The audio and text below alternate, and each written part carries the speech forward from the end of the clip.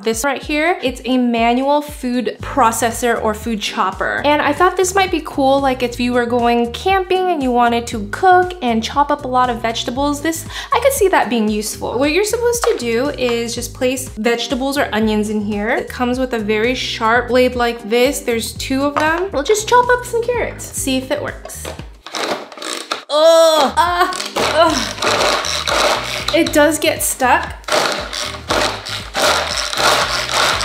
But once you get through that initial like big chopping, it goes pretty easily. And you actually get really, really good finely minced carrots. This is not bad. I will give it a seven.